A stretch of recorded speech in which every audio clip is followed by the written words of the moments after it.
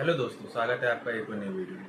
तो दोस्तों, जैसे कि आप लोगों को पता होगा कि मैं संडे को S S C C G L T I two के मॉक लगाता हूँ लाइव और उसका एनालिसिस बताता हूँ आप लोगों को। वैसे मैं रोज़ ही एक मॉक लगा रहा हूँ।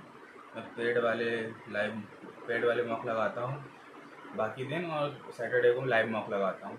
और जो सैटरडे को लाइव मॉक लगाता हूँ, उसको, उसके लिए एक प्रॉपर वीडियो बनाता हूँ। बाकी तो मैं अपना शॉर्ट सेक्शन में रोज़ का डालता हूँ अगर आपको मेरे मार्क्स देखना है तो आप मेरे शॉर्ट्स में जाके देख सकते हैं। अभी मैंने दो मॉक के शॉर्ट्स डाला हूँ।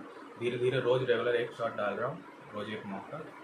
तो ये वाला मॉक तो ऐसा था कि इसमें मेरी मैथ्स के शुरू के क्वेश्चन कैलकुलेटिव थे तो उसमें वो थोड़ा टाइम लग गया।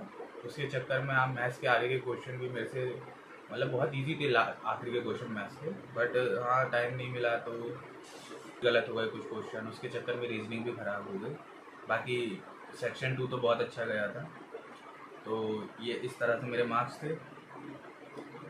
और धीरे धीरे मॉक लगाने के बाद एक ही इम्प्रूवमेंट यही होगा कि आपको पता चलेगा कि आपको कौन सा सेक्शन कितनी मैथ्स रीजनिंग में कितना कितना टाइम आपको एडजस्ट करना है, जो क्वेश्चन नहीं बन रहा है उसे स्किप करना है। सबसे मेन चीज़ यही होती है कि आपको अगर क्वेश्चन नहीं बन रहा तो उसे स्किप करके नेक्स्ट क्वेश्चन पर तुरंत जाएँ लेकिन अभी मेरे साथ होता ये है कि मैं कोई क्वेश्चन में फंस जाता हूँ तो मैं उसी को सॉल्व करने लग जाता हूँ, जिससे टाइम की कमी हो जाती है। अभी धीरे धीरे मॉक लगाने से इम्प्रूवमेंट होगा।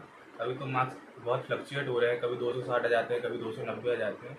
बट हाँ आप दस पंद्रह मॉक लगा लोगे तो एक कांस्टेंट मार्क्स आने लगेंगे, जो आपको लगभग लगभग पता चल जाएगा कि आपकी तैयारी कितनी है, उसके बाद आपको इम्प्रूवमेंट करना है उस मार्क्स पे। तो आप मॉक ज़्यादा से ज़्यादा लगाइए, क्योंकि मॉक लगाने से ही आपको पता चलेगा कि आप, आपका लेवल कितना है।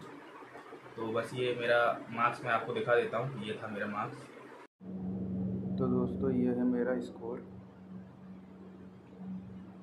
ये मेरा 123 अटैम्प्ट था, जिसमें से 102 करेक्ट गए टोटल 285 मार्क्स आए। यहाँ मेरे मैथ्स और रीजनिंग देख सकते हैं आप बहुत ज़्यादा गलत हुआ है।